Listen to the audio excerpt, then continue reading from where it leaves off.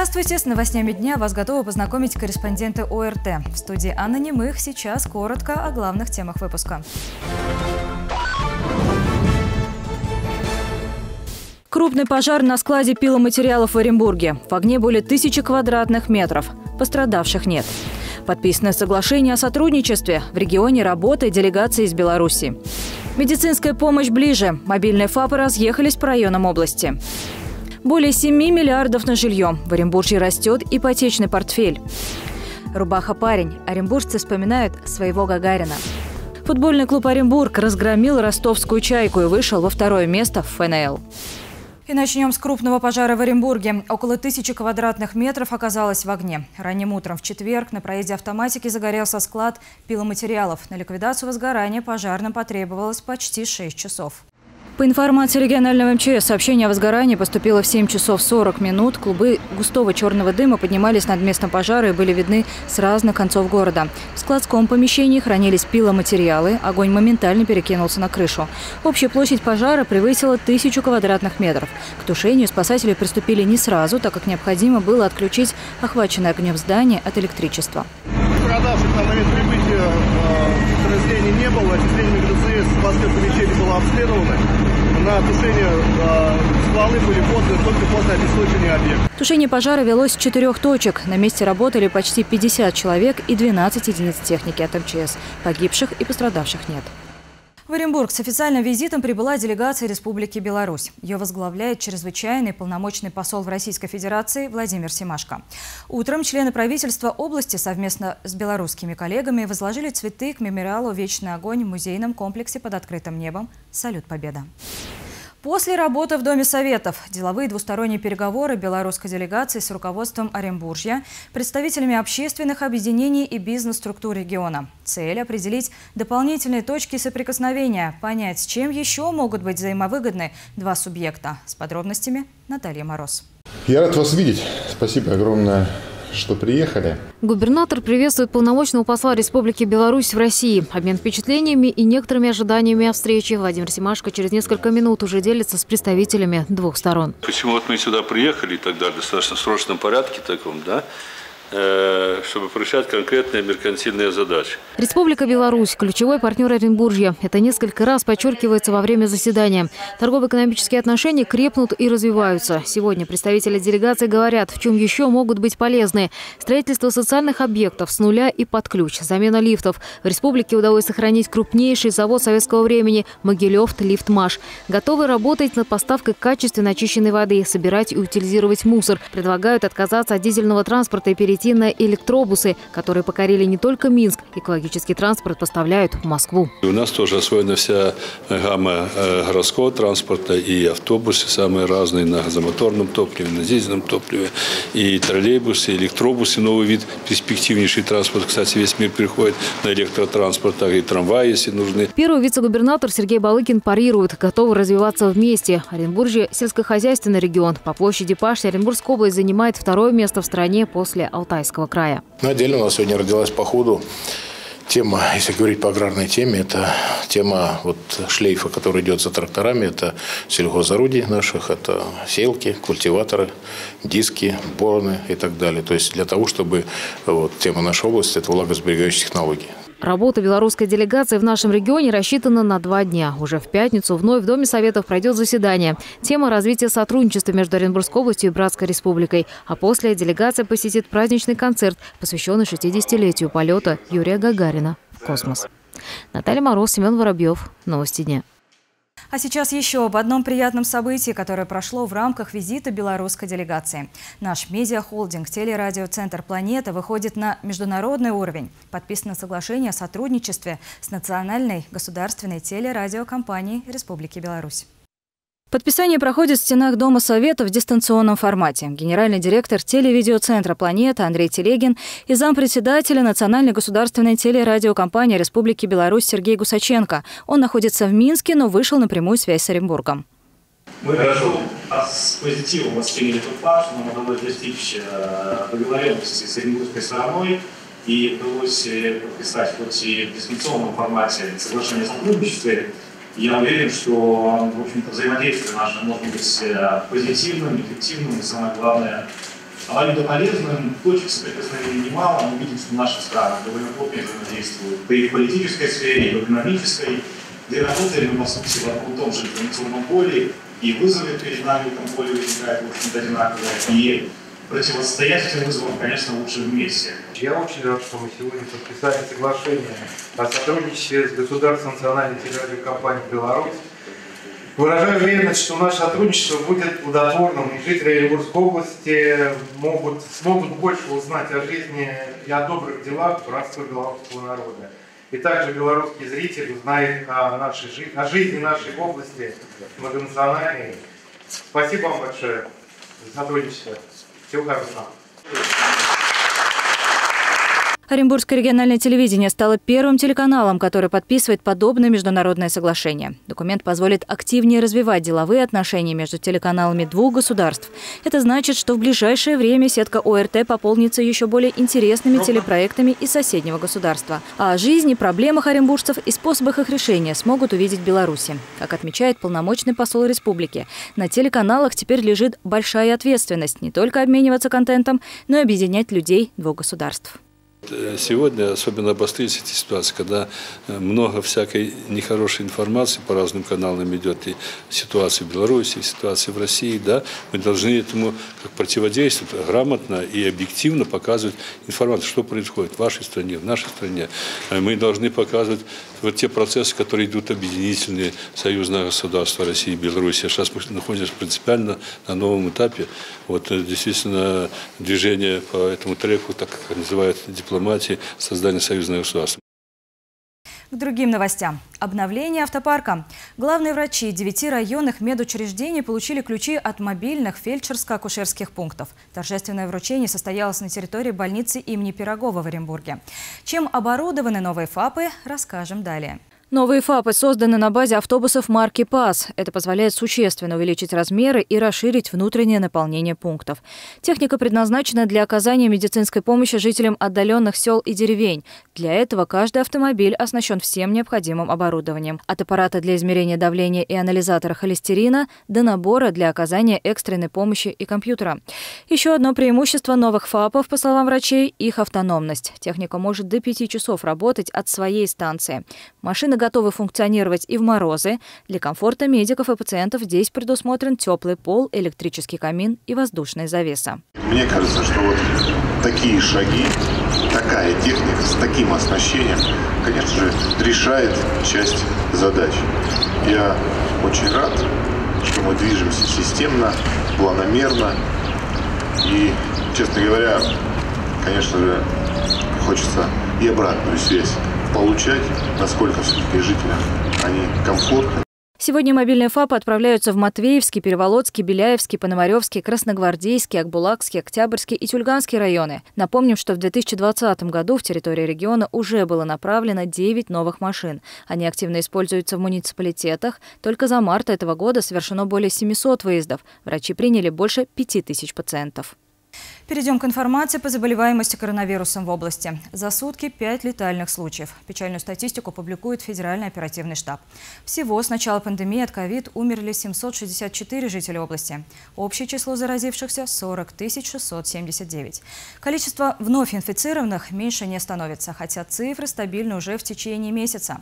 За последние 24 часа тесты подтвердили вирус у 85 человек. Что же касается статистики по выздоровлению, то сегодня больничные листы за закрыли 54 пациента.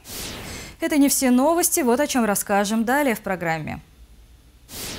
Более 7 миллиардов на жилье. В Оренбурге растет ипотечный портфель. Рубаха-парень. Оренбуржцы вспоминают своего Гагарина.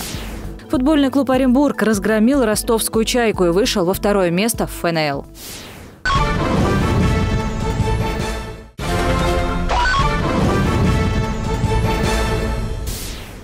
Мы продолжаем с новостями экономики. В Оренбургской области за год ипотечный портфель вырос на 20%. Об этом сообщили в Оренбургском филиале Уральского главного управления Центробанка России.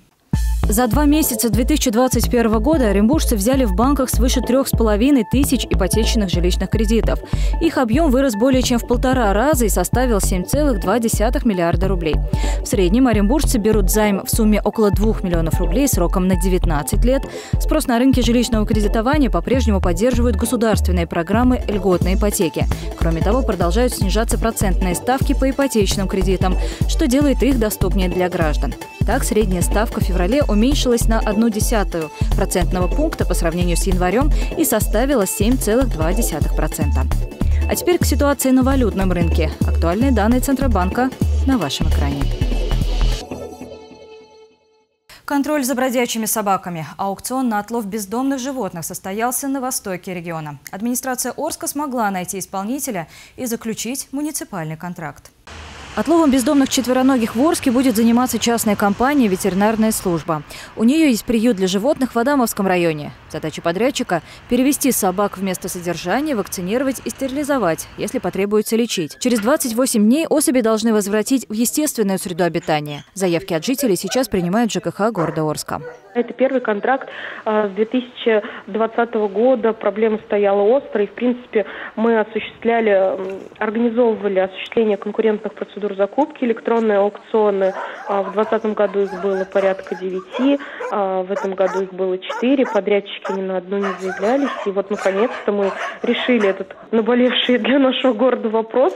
С этой же компанией аналогичный контракт заключили еще несколько муниципальных образований региона – Яснинский городской округ и Адамовский район. Стоит отметить, что сумма контрактов менее миллиона, и договоры заключаются на срок от двух до девяти месяцев. 108 минут, которые изменили мир. Уже на следующей неделе страна отметит День космонавтики. 12 апреля, 60 лет назад, с испытательного полигона Байконур стартовал корабль «Восток». Имя советского космонавта Юрия Гагарина в один миг узнал весь мир.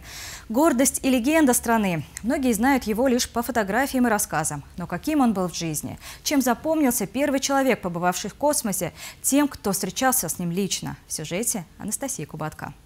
Оренбургский земля, как будто его вчера видела, вчера знала. Вот у меня такое было чувство.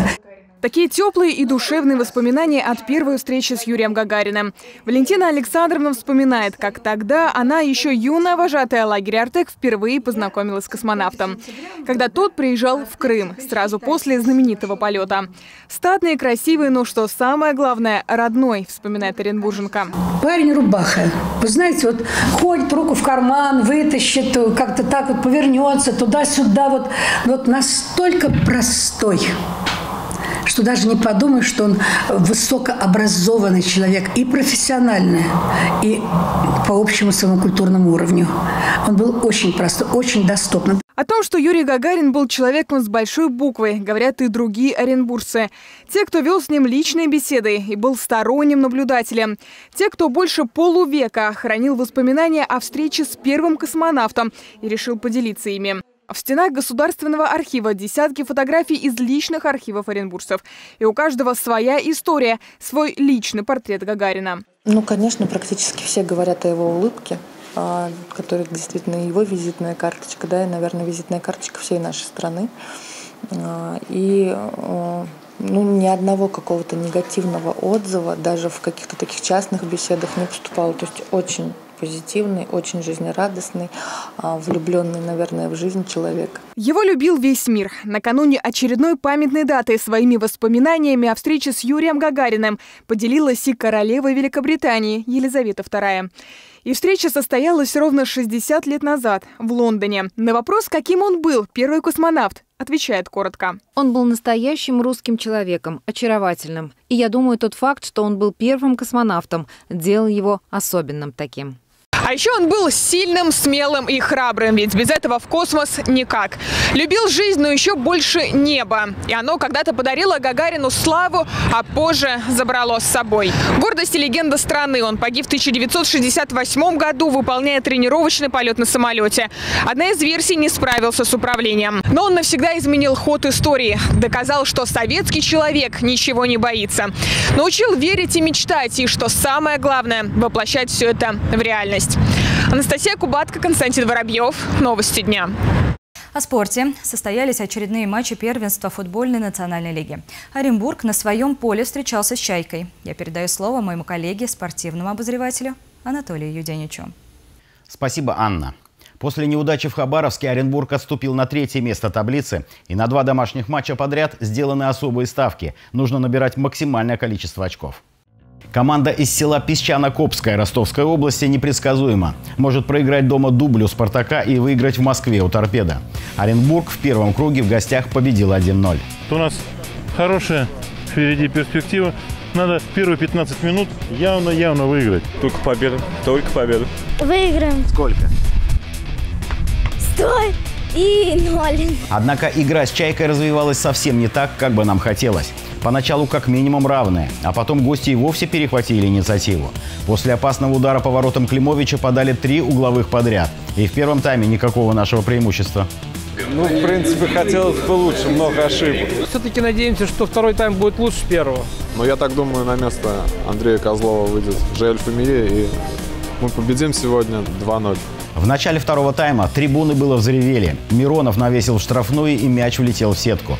Однако арбитр взятие ворот не засчитал, усмотрев офсайт у кого-то из наших. На табло остались гореть нули. А «Чайка» после перерыва окончательно осмелела и создавала у наших ворот момент за моментом. Вели игру, много атаковали. Мяч метался по штрафной сопернику. Удары были. Гола нет. Такая картина, безусловно, не устраивала хозяев, и тренерский штаб Оренбурга провел ряд замен, кардинально изменивший ход матча. На поле вышли Полиенко, Фомие и Прудников. Напомним, Полиенко полгода назад перешел в наш клуб именно из «Чайки» в обмен на Кулишева.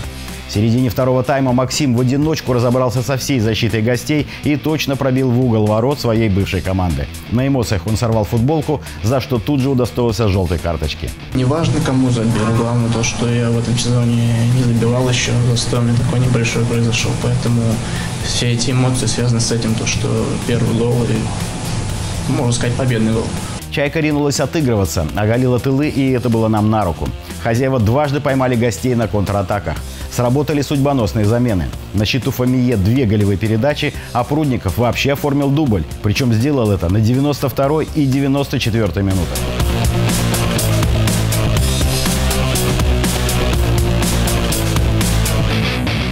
Мы были сильнее, просто нужно было забить первый гол, чтобы уже почувствовать себя немножко увереннее. Вот. Да, затянули, дотянули до 74 минуты, но ничего страшного, выиграли с уверенным счетом. Из довольно вяло начинавшейся игры Оренбург добыл победу с классическим счетом 3-0.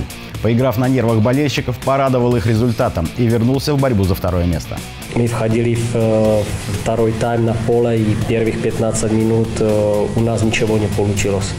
Čajka Lučaja dvígala мяк. Gol Максима нам дал také чуть-чуть свежести и ментальной силы. Пристально следим за выступлением конкурентов. Нижний Новгород дома одержал минимальную победу 1-0 над Велесом и по-прежнему опережает нас на 2 очка. Лидирующие крылья сегодня играют на кубок. Их встреча со «Спартаком-2» отложена. Как раз со спартаковским дублем играть Оренбургу в ближайшем 36-м туре. Москвичей будем принимать в воскресенье. А вот нижегородцы полетят в негостеприимный Хабаровск. Анна?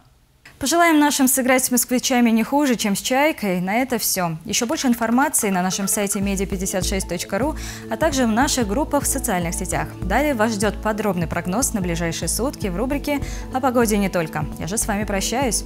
До свидания.